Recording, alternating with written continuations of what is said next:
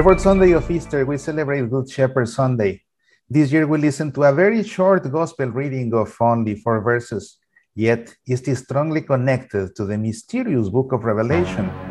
In this program, I will explain how to properly do a liturgical reading of the readings at Mass in order to understand the true message these readings want to convey, especially today. What is the main message the Good Shepherd is giving to the Church?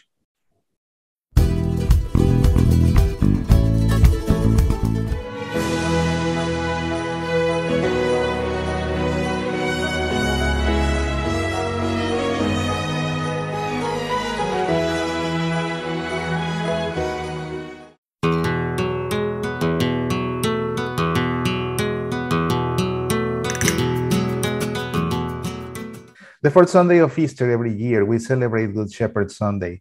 In every liturgical cycle, A, B, and C, we read different verses from John 10. To fully understand the message the Word of God wants to convey every Sunday, we must understand the readings within their liturgical context, Easter.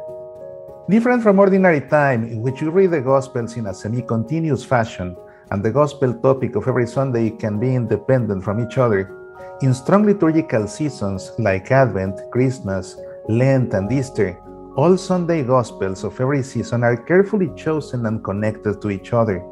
They need to be read in their specific liturgical context to get the most out of them. Every year, the first three Sundays of Easter, we read in the Gospel what happened right after the resurrection of Jesus.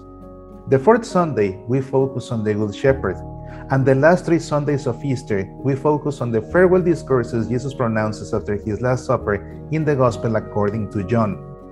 This year, 2022, we are celebrating liturgical cycle C. The Gospel reading is very short, just four verses. Jesus said, My sheep hear my voice, I know them and they follow me. I give them eternal life and they shall never perish. No one can take them out of my hand. My Father, who has given them to me, is greater than all and no one can take them out of the Father's hand. The Father and I are one. To understand the liturgical theme of every reading, lectors and readers and the priest must pay attention to the title of every reading. The title is the line in red ink that precedes the pericope to be read and that is never read out loud. For lectors and readers, it is important to pay attention to the title because it hints the main idea they have to emphasize as they read. For priests, the title matters because it hints the topic they shall preach about. The title of today's gospel reads, I give my sheep eternal life. What's the message? Once more, we need to read this within the context of Easter. In Easter, we focus on the crucified Jesus who is now risen. This is why all along Easter we see the symbol of the crucified and resurrected Jesus par excellence in every Mass, the Paschal candle.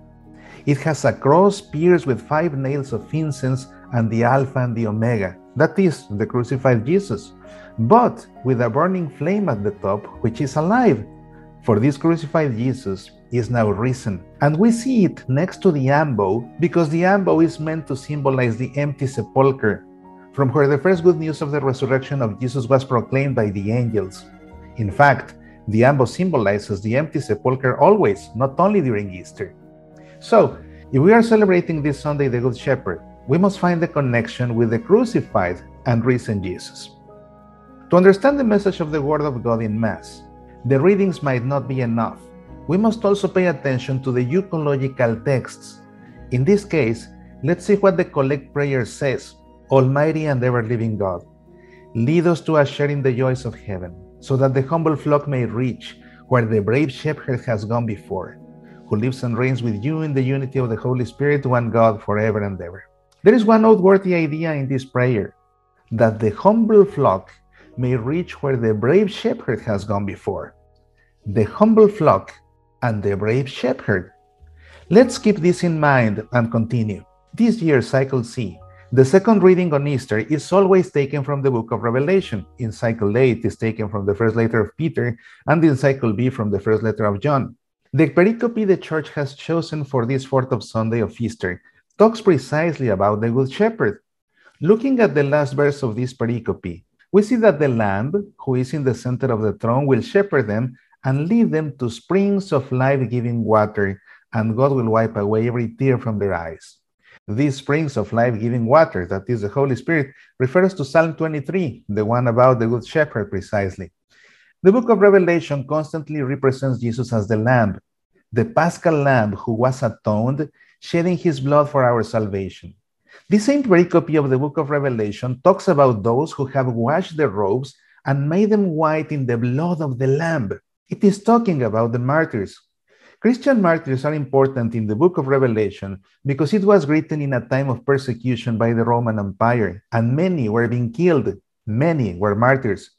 So the book of Revelation treats the martyrs not as the poor victims of the injustice of the Romans, but rather as the victorious heroes who died for their faith and who can praise the Lord forever because their robes were washed by the blood of the Lamb.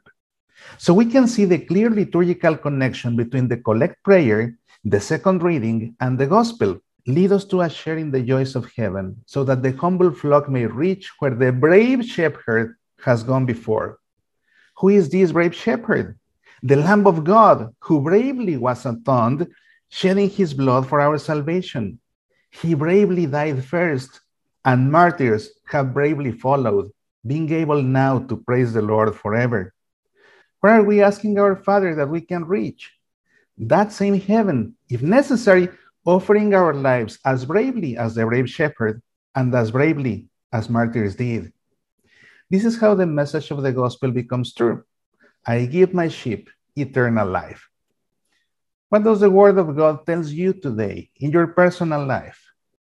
That is something you need to discern in prayer.